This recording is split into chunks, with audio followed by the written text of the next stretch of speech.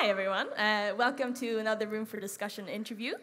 My name is Ella. This is Filippo. We're going to be the interviewers today. Um, if you think back to the last few weeks, chances are that you saw quite a few headlines about China. Uh, this might have been about their economic rivalry with the US, their economic health, or perhaps Taiwan's recent elections. But no matter what, uh, China is undoubtedly and also justifiably a huge topic right now. With us today. Oh, so you're also muted, maybe? Yes. Yeah, okay, great. So, with us today to talk about the role of China in today's world is Bert Hofman. Mr. Hofman had a 20 year long career in the World Bank, mostly in the East Asia region. He spent five years as a country director for China between 2014 and 2019, and he's here today to share some insights on China. So, without any further ado, please welcome him on our stage with a round of applause. Right. Let's do Thank this. you. Thanks a lot. so, welcome very much to Room for Discussion. Um, before we get to this, the heavy content part of this interview, we thought it would be fun to get to know you a little bit better.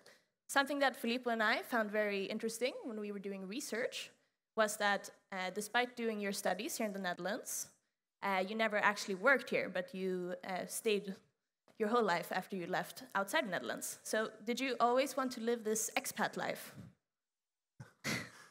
Uh, well, it, it, it was a bit opportunistic, frankly. I mean, after my studies in Rotterdam, I went to Kiel University, out of all places, did a course there for a year. And then there was an opportunity came up at the OECD.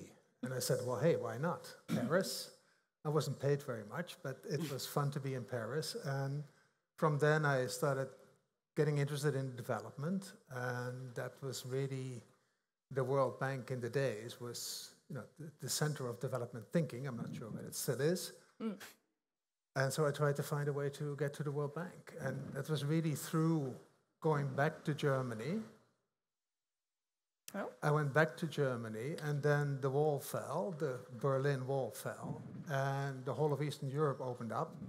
And I got sort of, I rolled into all these transition issues and started studying that at the University of Kiel. Mm-hmm.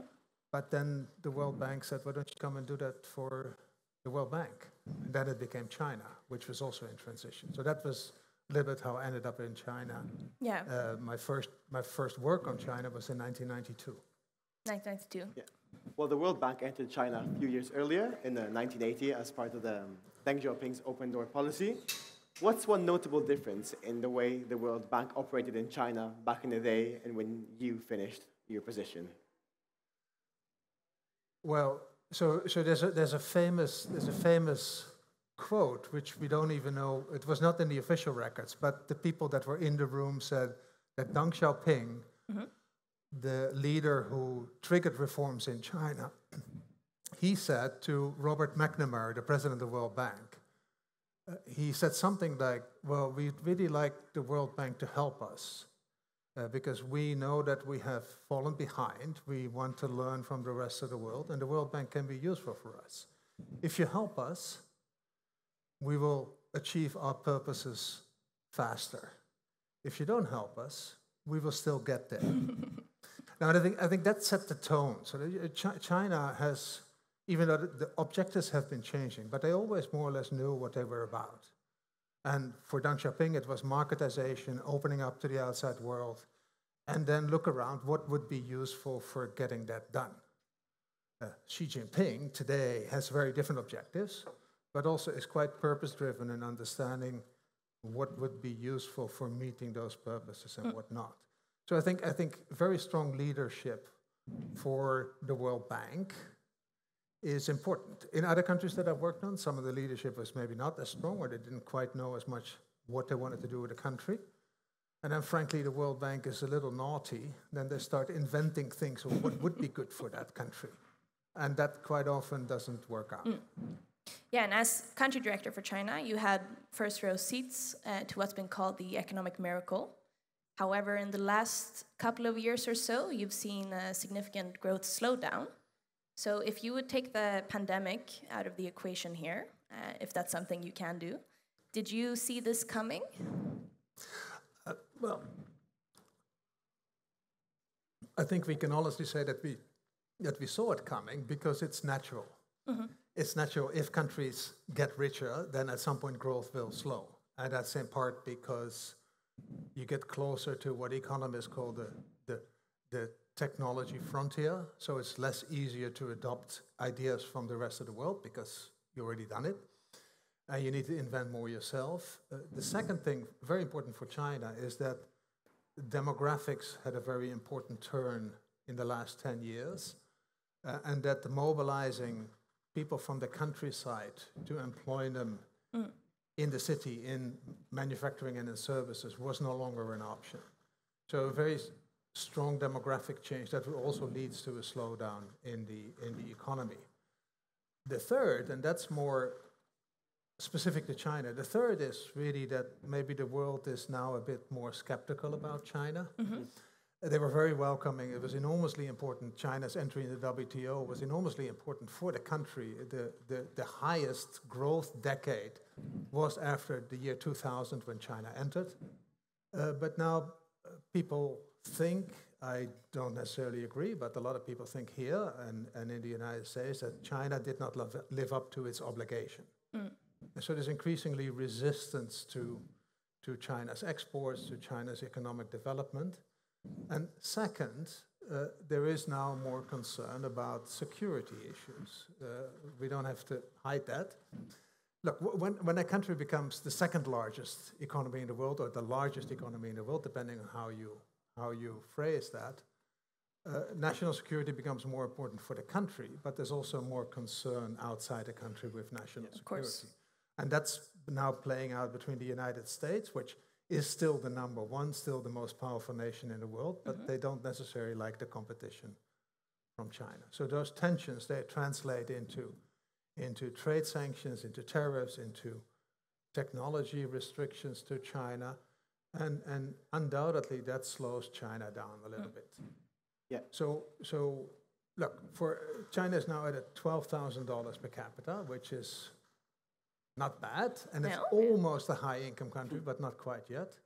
But the experience is that after you reach that level of income, sort of the decade after, you no longer grow as fast. And, and 4 to 5% is a very reasonable expectation of growth over the next decade. Mm-hmm. Well, one of the most clear examples of this growth slowdown we're seeing is the real estate market crisis. Why are we seeing this happen? Oh, goodness. Tough question. Well, supply is larger than demand, an economist would say. Look, this goes really back to the global financial crisis, where um, China, being very export dependent at the time, ran into trouble because the US imploded, the economy imploded, growth went negative. Same with Europe. And China said, okay, we, we can't have that. We can't have this negative growth. And they started a very big stimulus. Mm. And it was in part fiscal spending, but in part it was also telling local governments, okay, you can develop faster. And the way that happened was in part through real estate, i.e., they developed the real estate market much more rapidly. They allowed real estate developers to acquire land and with that to, to build more housing. And that was all fine until there was really an oversupply. Mm-hmm that was recognized by the government already well before COVID and well before, well before it became a problem. And they wanted to correct it. Then COVID happened, and they couldn't correct it because growth was still important. But in 2020, after China overcame the first wave of COVID and they thought it was the last, they said, okay, now we're going to do this real estate bubble. We're going to yeah. address it and they introduced something which was called the three red line policies. Uh, China always has very poetic names for their policies. Yeah. The three red line. And uh, oh, that's my mic again. which limited credit to real estate developers. As a consequence, those developers ran into trouble. People started doubting whether these real estate developers could finish housing, and everybody started to walk away from real estate. Yeah. Mm. So production and investment in housing is way down, about 40% from the peak. prices are still holding up, but frankly, it's a little bit the question: Are these prices very real? Yeah. The official price level is four or five percent down. In some cities where they have way overbuilt, it's probably down a lot more, and that affects confidence of people. So it's, it's one of the big issues that is currently on uh, on uh, China's government's plate, and I don't think the solution is there yet. Yeah, well, Cato Institute, a libertarian think tank, thinks that a major cause for this overbuilding is a lack of alternative investment options in a socialist economy like China. To what extent do you agree with this?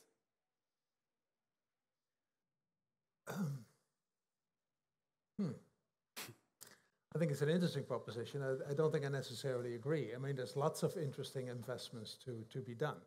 Uh, but for individuals, they have, A, they have a lack of, uh, still a very imperfect social security. Pension system is still uh, quite underdeveloped, especially for, uh, for rural residents.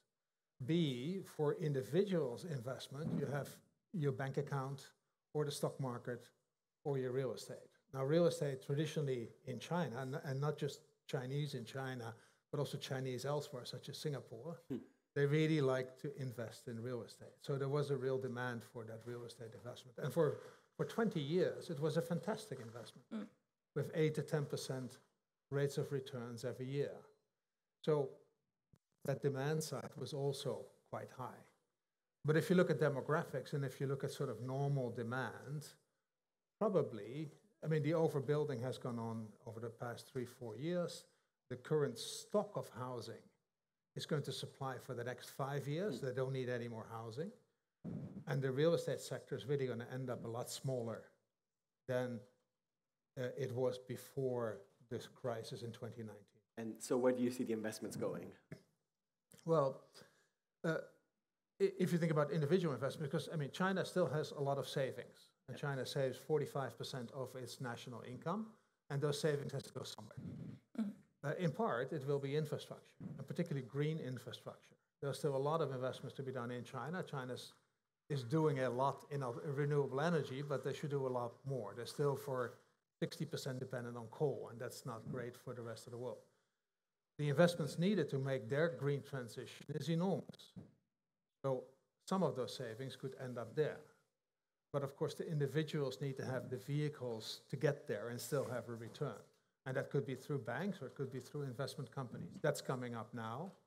And I think that's going to play a more important role. Second, China is getting really good in tech.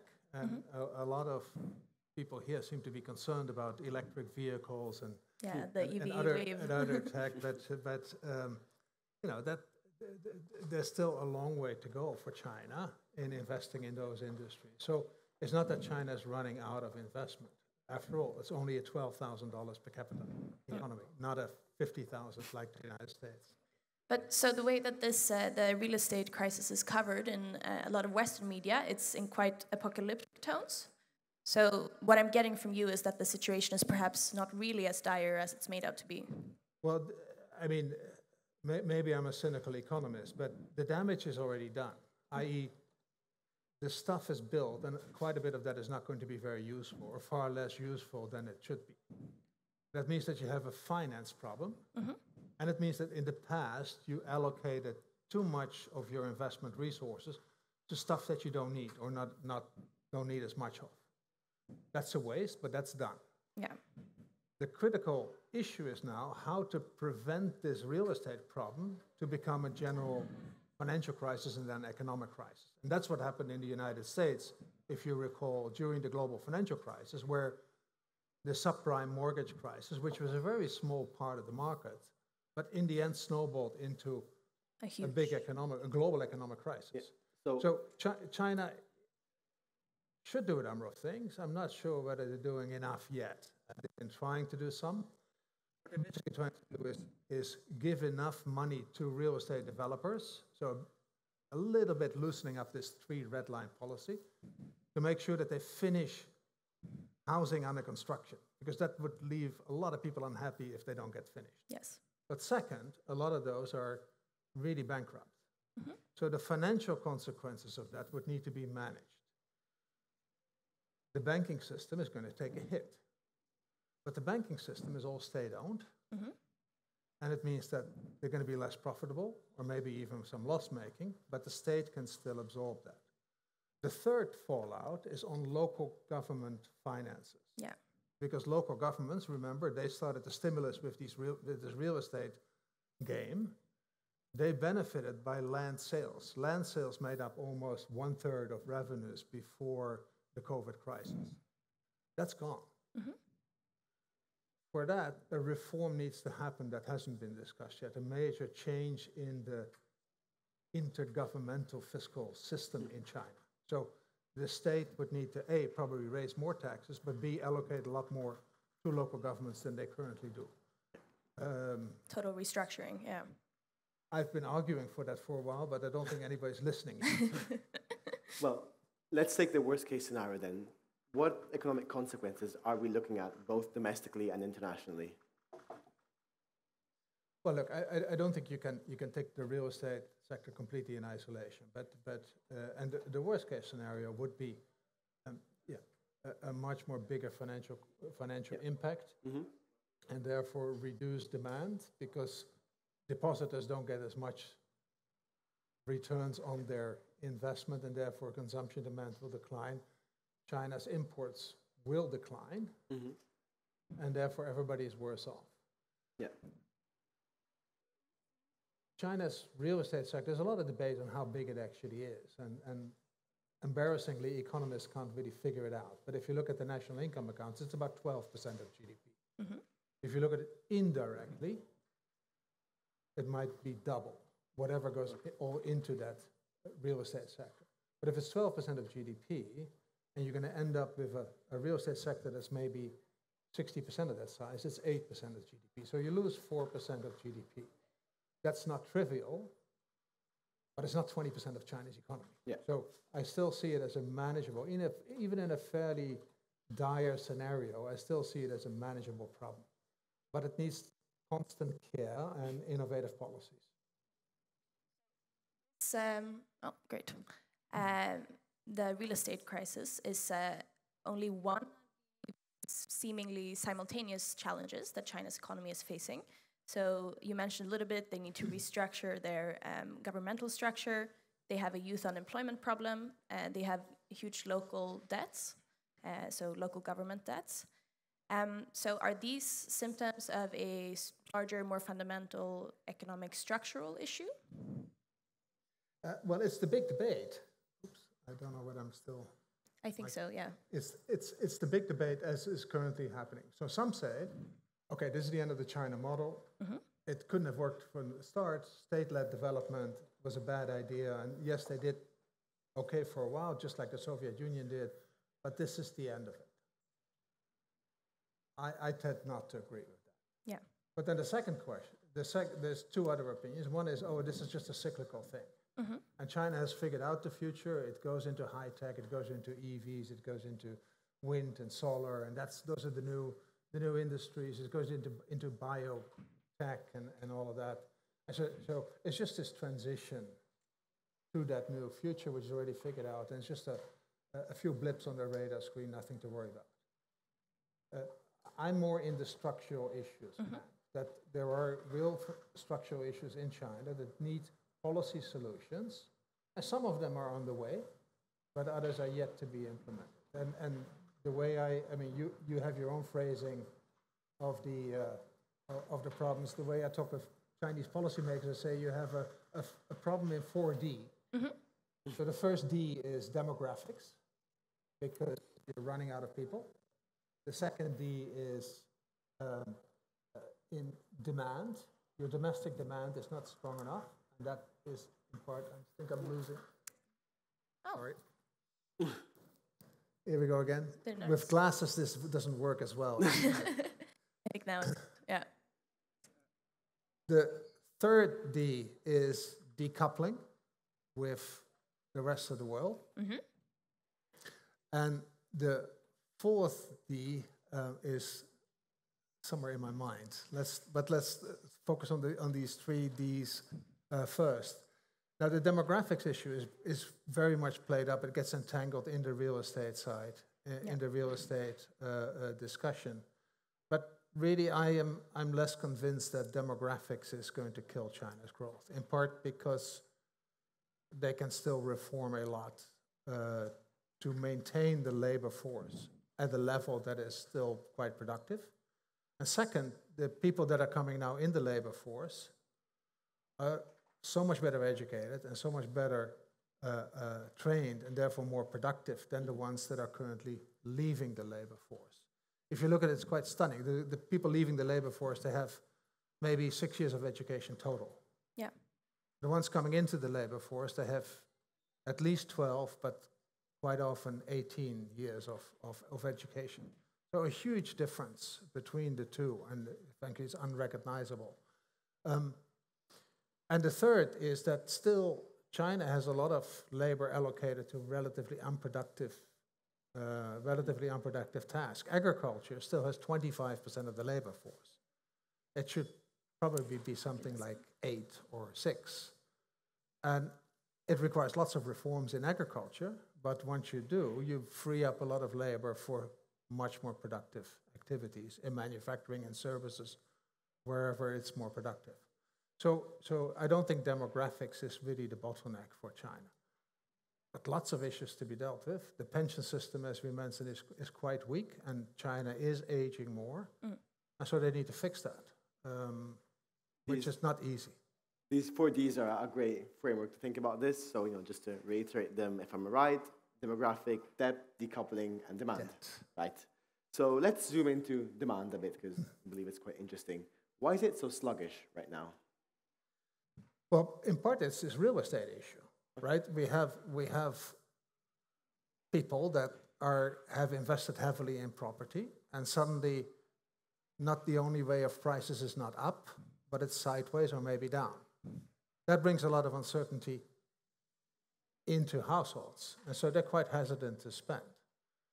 Uh, second, uh, the current government has is really switching majorly from this real estate infrastructure to high tech, to hard tech, i.e., manufacturing. The current leader, Xi Jinping, loves manufacturing.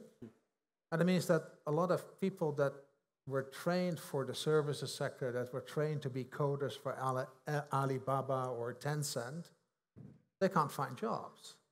So youth unemployment is a real issue. And if you've just invested quite a bit of your savings into your son's or daughter's education and they can't find a job, that brings a lot of uncertainty. Of course. The third demand factor is this local government. They suddenly miss out on one third of their revenues. So they can't spend like they used to. It means that domestic demand is really quite low. Uh, exports is increasing, especially exports of stuff, of manufacturing is increasing. And that causes some havoc around the world.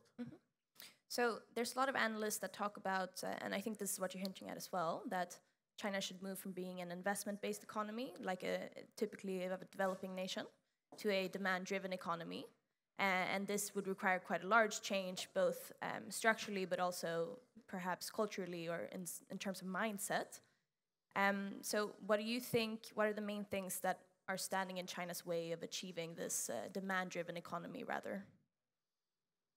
Well, first, uh, China still needs investment, and they still need quite a bit of investment. It's not that they're done investing. Yes, in public infrastructure, they're quite high, but as I said, the green transition is coming in now, which requires a lot, not just in China, but a lot around the world in terms of investment. China needs to probably be much smarter in allocating investment, because, in part because of aging, future savings are going to be less than today. So the productivity of investment need to be better. And, and that, uh, as I the current leadership thinks that's manufacturing. I think there's a lot more to invest in that would have a much higher return than past investment. That by itself creates the resources for higher wages. It creates the resources for uh, better pension systems. The social side of the equation is China spends about six, seven percent in total on social spending in China, uh, in in in uh, in uh, on its economy. It's going to grow because of aging, but it's still really low compared to its comparators, i.e., higher middle income countries, and it's much lower than OECD countries. So, some redistribution, especially to poorer people in China, would actually help demand because poor people in China, they don't have the means to save and they spend. Mm-hmm. The savings rate among poor is much lower than it is among the rich. So, if you redistribute income, you actually get a lot more consumption, and that would be helpful for demand. Mm. Do you believe this change will be done in time to offset the more structural issues we I don't know. I, re- I really don't know. And to, to, some extent, I mean, if you were to, if this were the Dutch problem, everybody say, this is wonderful. You can give away stuff and you can be popular as a, as a, as a, as a politician. It's, it's what happened when I was young in the 70s. It was really the, uh, the fun things for people as the, the Labour Party at the time introduced, basically a, a lot more social, uh, social welfare and social support. China actually has a very concrete objectives. Xi Jinping loves to talk about common prosperity. Yes. And that really is about the next phase of growth should be more shared. So I think there's a little bit of a, uh, an in, well, not, maybe not an inconsistency, but some contradictions between the ultimate objective and some of the good things that could be done that would help the economy, and they're not happening. Mm-hmm. So I, I, it's a bit of a puzzle. That's uh, it's also something this inconsistency you point out. It's uh, because as you mentioned, they are doing quite a lot of stuff to try to achieve this, but at the same time, if you listen to or read the transcript of certain uh, Xi Jinping speeches, he's also um, really promoting values like modesty, frugality, conscientiousness, he's a, not really a fan of lazy people, you could say. Uh, and I think some of these values seem to go a little bit against what you would need to be a really high consumption and low saving type of household. So, do you also see that uh, the regime is working against the mindset change that needs to happen, perhaps? Well, Ella, you, you, I mean, your observation is spot on. Xi Jinping, who, nice. grew, who, grew, who grew up in you know, during the Cultural Revolution and, and was sent to the countryside and ate bitterness, as the Chinese saying mm-hmm. goes. So was very poor in very poor circumstances and, and actually sought that in his the start of his career. So he thinks that's actually good for people, it's career building and but it's not good for the economy. No. And today's China is very different from Cultural Revolution China. So I believe that in time uh, even Xi Jinping gets convinced that a little bit more of social support for, mm-hmm. say, migrant workers, migrant workers who build China, who literally build China, because they're the ones that are in the construction, but they don't have a safety net if they get unemployed. They go back, they go back to the village and supposed to be farmers. Mm-hmm. That doesn't work anymore. That doesn't work in today's China. And I think once that is figured out and, and the systems are being put in place, yes, there's an ideological resistance. I don't think it's going to last. Mm. Mm-hmm. Well, zooming out a bit more, um, one of the reasons that um, Chinese the Chinese regime remains popular internally is the fact that they've been able to consistently grow and consistently improve the life of their citizenships. If we see perhaps you know a continuous slowdown in growth, could this contribute perhaps to a threat to the regime? Well, uh, I, I find it in part because I grew up with the current, the current regime. So uh, for 30 years, I find it hard to see a real threat. Okay. But it is of concern. Mm-hmm. And social unrest has always been very close to the, to the concerns, to the core concerns of, of Chinese co- uh, government, of the Communist Party of China. And so it may. At the same time, uh, my core scenario, and I'm sure the government's core scenario is not that growth is going to go to zero or not even to two or three percent. It's still going to be four to five percent uh, uh, in the medium in the medium term. Second, current leadership, Xi Jinping, is emphasizing a lot of other factors. Mm. So, first of all, uh, it's no longer about growth; it's about quality growth. Now, yeah. nobody knows quite what it is. But it means that you can always say, well, no, we now have quality growth. Growth is no longer as high, but it's quality growth. Mm-hmm. All right, well, good. So you get legitimacy from quality growth. But the third, of course, is nationalism. And China, like it or not, but as said, China is in a situation where they are the emerging power and the United States is the incumbent, and there is tensions, and there's tensions over a number of specific issues, including Taiwan and others. But that reinforces the legitimacy of the regime of the Communist Party of China. So I'm not saying they play that card that hard, and, and not as a substitute for economic growth, but it is becoming increasingly a bigger, a bigger factor. So you see this also as them being uh, proactive to try to detract from potential, um, well, backlash. Uh, I think it's and and. Mm -hmm. So I don't see it either or. Uh, I mean, we haven't seen a real economic crisis in China for for a long time, but I think it is as China converges to a growth rate that you would expect at its level of income, other factors are becoming a bigger role. China's bigger role internationally is one of those. And I do believe that's why this common prosperity just fits right in. And that's why I think it will come. Uh, it, it may take a while, but China ends up doing usually the rational thing after a while. So I do expect that. But yes, this, this nationalism, I mean, it, it's there. And um, other countries to some extent have to deal with it. Uh, I live in Indonesia now. I used to live in Singapore. Uh, it plays quite big in that part of the world because you know the pressures of China in the South China Sea and elsewhere are real. But at the same time, also the economic benefits of China and China's growth are also very, very real. So it's it's uh, a delicate situation for countries yeah, in Southeast Asia. Well, I believe this is a very good time to look at our audience, see if there are any questions. Uh, yes, we can go there. So the mic will come to you. a person with a mic, to be clear.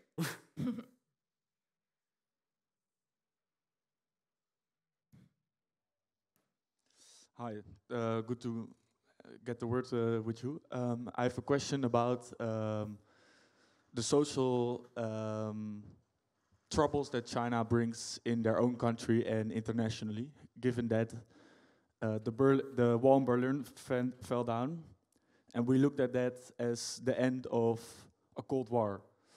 Uh, China also looked at that, and they wanted perestroika, but not glasnost.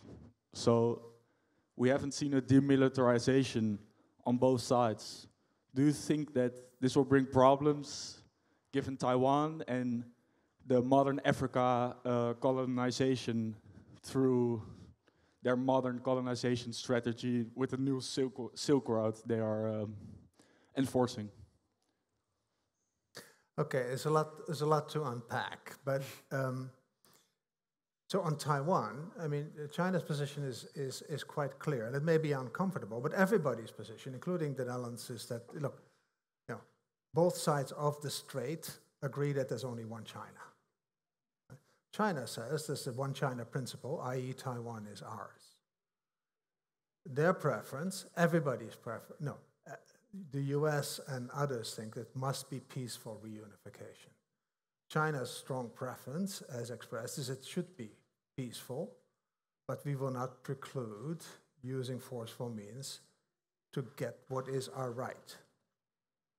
So that's Taiwan.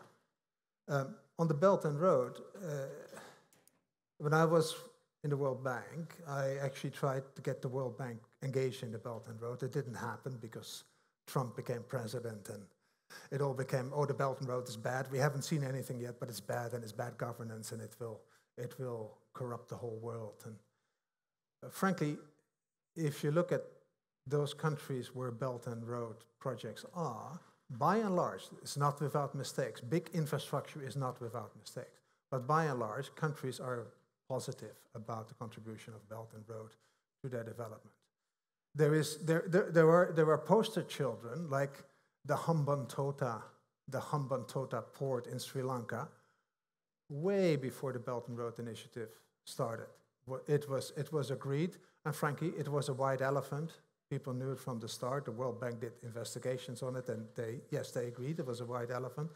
So, so, but the using some of the surpluses which do arise in China's rapid development, using it for investing in other countries, it's similar to what Japan has done, what Korea has done, what even Western countries, what the United States did in Europe after the war. So uh, I, it's not necessarily colonialism because the countries have agency. They can say, well, actually, no, we, we prefer to get money from the Europeans or from the World Bank or elsewhere, uh, but they take it from China.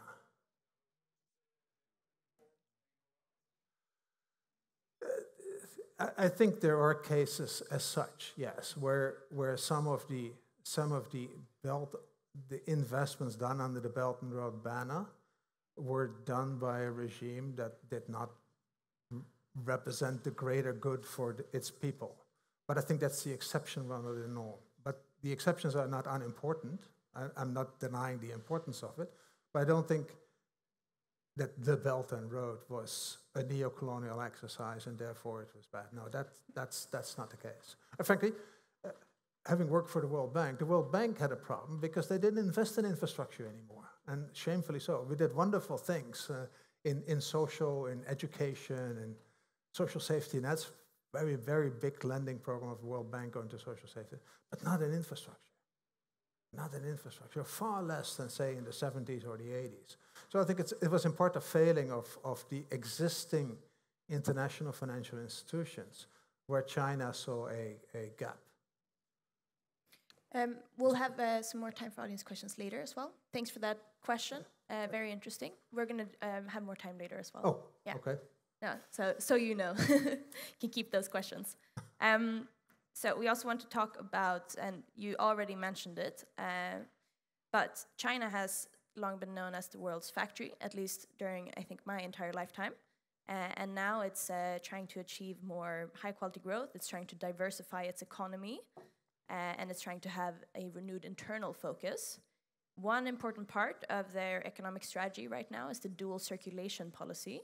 Uh, could you please walk us through this policy um, and its underlying rationale? Well, again, uh, it, it's not entirely clear what the policy actually is. But the idea behind the policy is really that China now needs to rely more on domestic demand, less on, on, on external demand. The, some of the underlying reasoning is has to do with national security. Mm-hmm. China wants to be less dependent on others and more dependent on the critical supply chains that are onshore in China. Uh, uh, China has achieved that. They're doing that. Uh, even before the policy was formulated, you saw a major shift of, of global supply chains to China, in part because of efficiency reasons, and everybody benefited from it, except some workers in declining industries in the West. Um, but the, the, the dependence on China is really quite big. Mm-hmm. Um, the reason is because they are the manufacturing house of the world they have so much exports of intermediary goods, which then goes into, into manufacturers of other countries, that it's very hard to sort of imagine a, a, a, decoupled world. It's very hard to, to, to say, okay, well, let's decouple from China because we don't like China's policies here or there, and we want to decouple more. We see it as a risk. Frankly, it's, it's, it's virtually impossible. Mm-hmm. I, I looked at the numbers for, for the Netherlands and for Singapore and for the US, but but it, it's, it's stunning how much China's share in Dutch manufacturing is compared to Dutch share in Chinese manufacturing, which is negligible. Yeah, well, about that, what are the main obstacles then to reduce external dependence for China? Well, I mean, there's two. One is this demand issue. They still don't have domestic demand. And frankly, dependence on exports is mm-hmm. also a, a, certain dependence, right? Yeah. So if you cannot generate your own domestic demand. And the second is technology. Uh, China is still you know, one or two generations behind. Uh, this is the home of ASML. and we'll touch um, that so. uh, China doesn't yet yet have an ASML. Mm-hmm. It's also extremely hard to, to replicate uh, a company a company like that. And so they feel very vulnerable on that technology. You also see the, their, their political reactions to the measures of the United States have been very sharp. They're really quite upset. And, and now they're trying to double down on what they call their indigenous innovation. Mm-hmm. And China has now surpassed the EU in spending on research and development as a share of GDP.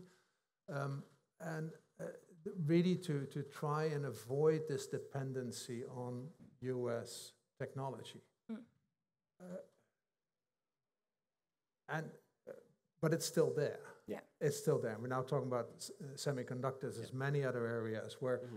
frankly, science is, is incre- has been in the past 30 years after the wall fell, uh, was very much an international business and a very much uh, uh, uh, jointly the best minds working together across the, acro- across the globe. And that has been enormously productive. Uh, now that seems to be drifting apart a little bit. Yeah, so as you mentioned, this uh, drifting apart, it seems to be a sort of global trend. Uh, we've also hear, heard a lot about friendshoring recently, so that's when, um, also for the audience here, countries try to de-risk their supply chains by sourcing critical goods and materials from friendly nations. Uh, and this is also, of course, what we're seeing a little bit of in China, or a lot of. Um, a lot of people worry that if people are, all of the world's countries are very successful at this, uh, you remove a lot of um, deterrence, economic deterrence for conflicts. Um, this is, of course, worrying, but uh, do you think that this is an overly alarmist uh, line of thought? Well, I mean, it, it, it's definitely a logical argument because let's, let's suppose you succeed and everybody is independent or there's big blocks in the world. That also means that the conflict, if there is any, has very little damage. I mean, the, the capability of inflicting economic damage Yeah. Would withhold countries from seeking conflict to some extent. If you're completely separate, there's nothing more to lose. So that is a logical argument. I don't think that will be, even if you succeed in decoupling, it won't be today, tomorrow. It would take a 30 year trajectory, just as it's taken a, a 30 year trajectory for China to become that center of the global supply chains. But it's thinkable, it's not desirable. I mean, there's a reason why global supply chains emerged.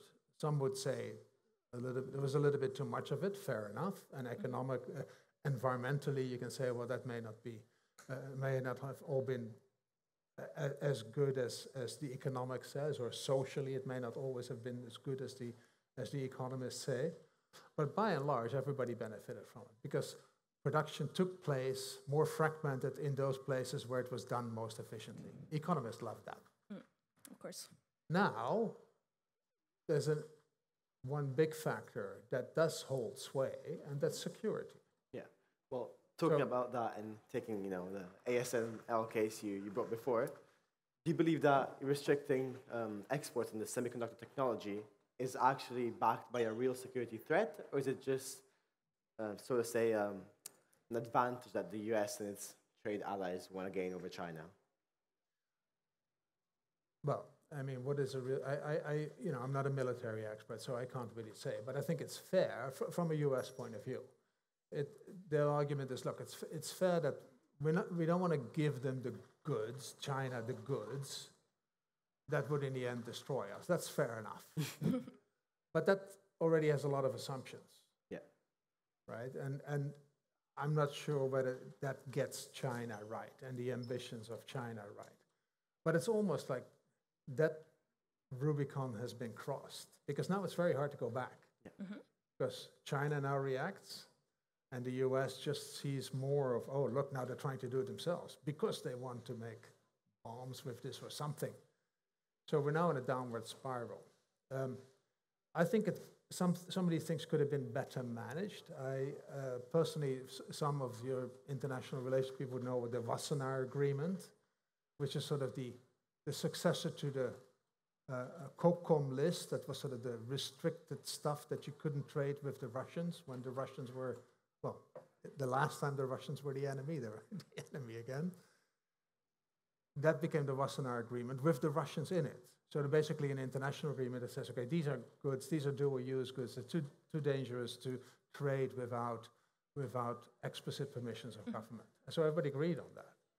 I, I wish, and you know, it's still, it's still on the books, it can still be done, that such agreements would be done, would be made with China. Because if not, if not, there's enormous amount of uncertainty being created. And for, I mean, of course, for China, but also for companies dealing with China. Can they do this? Can they not do this? Is this, is this risky or not? And not just for today, but also tomorrow. Mm-hmm. So it's actually quite detrimental for economic interaction with China, but also with the United States, Yeah. frankly. But do you see these trade wars then escalating to other technologies, or do you think they're going to be more wary of this? Well, the uh, first the EU says no, no, we, we don't want to decouple. We only want to de-risk, and and there's some there's something in that. And actually, they- they're putting in the homework. They're putting, you know, up lists of areas where they want to de-risk. Being very transparent about it, very open about it, actually is actually very helpful. Uh, second, the United States, in a way, they adopted the de-risking and say no, we only want to protect small yards with high fences, but to keep as much of the economy open. But of course, it's all about the stuff that China really wants. Yeah. And it could be for very peaceful purposes as well as for other purposes as well. So it will remain an issue of tension and conflict. You see, also you mentioned uh, EV uh, vehicles before, so like electric vehicles. Um, there's talk both in the U.S. and the EU, of course, of increasing tariffs a lot because you see uh, huge development in China and a huge output of cheaper and often um, up to standard or better electronic vehicles. So if this happens, are we, uh, you know, and this escalates to cars and to other technologies as well, will we have a type of bipolar economic world then in the end? Uh, well, it's, def- it's definitely a risk. I, I think the electric vehicles is, a, uh, is, is in a way a special case. It's an interesting case because, frankly, well, people that were engaged in China, such as I, we, we could have seen this coming a very long time ago. China failed in internal combustion engines cars. Basically, they failed. And, but they saw an opening because of the, the change in the world, i.e., the issue of climate change. They knew that electric vehicles was going to be a big part of the solution. And they were on that quite early on. Yeah. Western producers caught up very late, frankly, so the, China has, has an advantage. For the EU, the problem is now that with weak domestic demand in China, suddenly you have the tsunami of cars coming from China. Hmm. So what do you do? Well, the EU for now, and maybe they changed their policy, has said, oh no, we're going to prove that this is done, then they are so, they're exporting this stuff because they are subsidized. And they've benefited from all these subsidies, and therefore they're so competitive. It's not real. Mm-hmm. That's very hard to prove. And even if you can prove it, you need to prove it in the court of the WTO, Yeah. which is not functioning. The only thing that China needs to do, if there is a judgment at the WTO, they need to appeal. And the United States has killed the appellate body, so there's no finality there. And it can take very, very long pro- time. What I think is a very valid argument, and the past is the past, the e- Europeans, they were slow, but now there's you know, a very major industry at risk uh, of, of being overwhelmed by Chinese exports. Well, there's a solution for that. You can actually, in the WTO context, you can put up tariffs as part of an import surge. There's very specific provisions for that. So if you fear for your own industry because of an import surge from other countries, mm-hmm. you can say, well, wait a minute, we take measures. The trick, though, is that then you have to compensate the exporting country for that. So you're not saying this is bad or it is done by subsidies, but you do have to compensate for that. But it would save the European industry. I think that might be a very promising way to go. Yeah. Well, one key player that we haven't really touched upon in this interview, in this US China rivalry, is Taiwan. And we hear a lot about Taiwan, and it's a very discussed topic here, you know, Western environments, so to say. Is it a topic, you know, as top of mind as it is for us, to the Chinese people as well? It's, I mean, it's extremely important. Yeah. The, what China calls the reunification of the Chinese nation is probably the number one priority. And frankly, it's a priority that can cost something. So in, in, in terms of would an economic threat with hold China back from uh, taking Taiwan? The answer is no, because it's just too important. Yeah. Uh, but it is not, it is not an urgent problem yet. Okay. One of the downsides, the, the Chinese grand strategy, if there is one, is now it's the reunification, the rejuvenation of the Chinese nation. I'm losing my mic again. These are tricky. Let me try again. And Xi Jinping has said that project is going to be completed by 2049. Since the party congress last two years ago, Yeah. Reunification with Taiwan is part of that project. So there is now something of a deadline. It's not 2027, it's not next year, it is not 2035, uh, as a lot of Americans seem to imagine, but there is something of a deadline. So it is important that progress towards a peaceful solution of the problem, whatever that may be, Yeah. is going to be achieved. But does Xi Jinping see it as part of his legacy, reunification? Well, Xi Jinping is a healthy man, but I'm not sure how whether he would last in leadership position till 2049. Yeah. Uh, I think it's very important to him, just like it is for most Chinese. Okay. So it's not. Uh, there's no reason right now to say that a definitive change will happen within the next few years. No, but it's also not something as as China increasingly demonstrate. You know, they also don't like infringement on what they see as their right to uh, administering Taiwan at some point in time. Yeah. Uh, recently, we had elections in Taiwan, uh, and they elected a pro-independence president. Um, why? Why the? Do you do you agree or no? A pro status quo, I would say. I mean, there is not really a pro independent. Uh, if I ask the Taiwanese, and I had the pleasure of meeting quite a few of them, they say, well, why, wh- we don't need to declare independence. We are the Republic of China. We were declared in tw- 1912. We preceded Yeah. the People's Republic of China by, uh, by 30 some years. And so we don't need to declare independence. Um, but a proponent of a more independent course, like, just like the previous president, um, is, is that's probably fair to say. And how have the elections been received in China?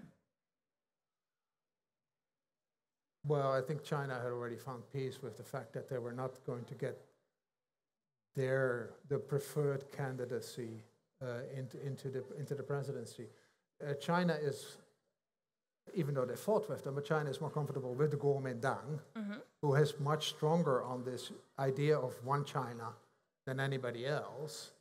So they're more comfortable with Kuomintang thinking in in this respect, but. Uh, so they wish that the Kuomintang was stronger, but for now they're more they're stronger local, but not but not nationally. So they're content to wait um, until a a future well- scenario. Com- compared to say the Pelosi incident, Yes. the reaction to the elections was far more subdued, and and frankly, I I, I was uh, I was happy there was not more noise. Yeah. Yeah. Well, I believe we have some more time for There was an audience older questions now. here. And Oh, yeah. He was he was first. uh, Absolutely. here in the front, Sean.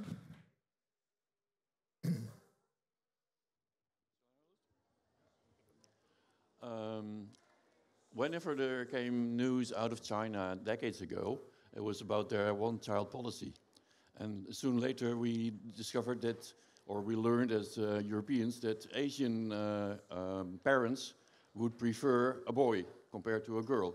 Now, they may be 25 years older, and those boys are men who seek a spouse and can't find. So, could you elaborate on that? Yeah, uh, so it's, it's, I mean, it's a, it's a big issue. And, and there are, in those generations, there are tens of millions of men who mathematically will not find, find a spouse. Um, at the same time, society has changed, and, and you know, it, it's no longer as damning to stay single. Part of the reason why this was Chinese tradition was that you always had to take care of your parents. And for that to have a, a wife, let me just say it, I'm, it's politically very incorrect, but I'm just trying to It's this uh, uh, reality, no? display, display old Chinese philosophy. For that to have a wife was important because she would take, she would take care of the aging, aging parents de facto. I think times have changed, and so it is less of a, an issue for the elderly. I think it is still an issue for social social structure, if you want, and indeed having too many men, uh, young young men, uh, potentially unemployed without a wife, that's not very healthy, and that can lead to tensions. I haven't seen much study on that. It's not my area of spe- uh, specialization, But of course, the, the bigger issue is that indeed these single children, in the end, they have quite a bit of a burden to carry, even if it's not actually literally taking care of your parents, but financially taking care of your parents through a social system. And China is not yet fully prepared on that. As a fact, a lot of the rural population is really doesn't have very good pension systems at all, doesn't have very good health care insurance. They have some now, but it's very, very minimal. And there's this big wave of aging uh, people coming. So uh, it's, it's becoming increasingly urgent to find, to find a solution. One of the upsides is that, that look, because the overall labor force is going to go down, that is that even those young men who may not have a wife, they're probably going to find a job. Well, I think we have time for one other question, if there are any. Yes, right there, Sean. Yes. Okay, thank you. Uh, actually, three, uh, three days before, I was actually in Shanghai, in China. And when I talked to my friends there, I found a very big issues nowadays for Chinese economy is all the consumers, they are losing confidence. So they are saving a lot instead of investing on stocks or investing on you know, real estate. And also I find, I talk to people working in finance, they are saying that these foreign investors, they are leaving the country. So they, are something called anything but China. So they want to invest in anywhere in the world but not China. So if, if uh, you want to find a solution for Chinese government, what can they do to restore the confidence for the consumers and for the foreign investors? All right. Well, look, that loss of confidence has a history, and I think sort of gradually chiseling at that history would solve the problem. The history on the consumer side is really, and you can look at the indicators for consu- consumer confidence, it collapsed during the Shanghai lockdown. It was the moment where confidence collapsed and it didn't come back. On the foreigner side, it is much more the overall business environment. At some point, people thought that common prosperity meant the end of this capitalist nonsense in China and therefore clamping down on platform companies, on Alibaba, on Tencent, on, on games, on everything. And that really affected confidence of many people were entrepreneurs, domestic or foreign, and they lost confidence and therefore stopped investing. Uh, there's been a lot of talk that the party still loves entrepreneurs. As a matter of fact, it is in the, in the Chinese constitution, so it must be true. but I think it takes more than words. And just so gradually over time, when those actions, new policy actions fall into place of a government that is still relatively new, I think that will gradually restore confidence. But it, it requires some patience from the government side. Well, thank you very much for all of your questions. So, well, we've seen that the distance between China and the West seems to be growing on a diplomatic, economic, and ideological level. Are you more optimistic or concerned about this future? No, I'm, I'm quite concerned. And that's the, I mean, it's because the direction that China has decided to take, but also very much what the thinking is in the United States and some other parts of the world. Um, there's not enough common ground. Mm-hmm. And you know, the United States. Microphone issue? Try again. Try again? Yeah, there, there we, we go. I was already trying to get my little switch here.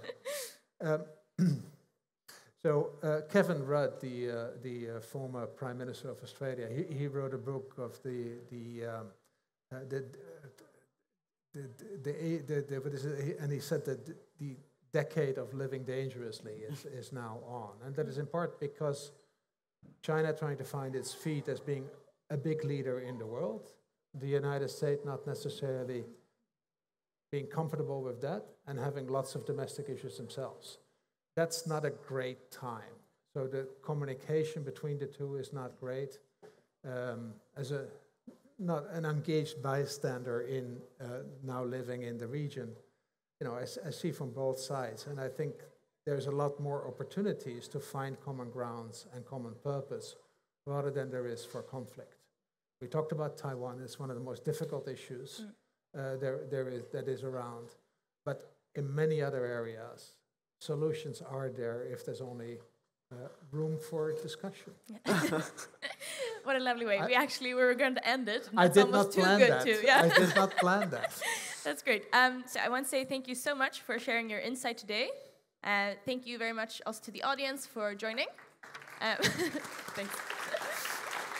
Um, so, if you enjoyed this interview and you want to see more interviews like it, we have one coming up next week, 14th of February. It's with the Netherlands response to Oprah. Uh, that would be Van Huis for the people here who know him.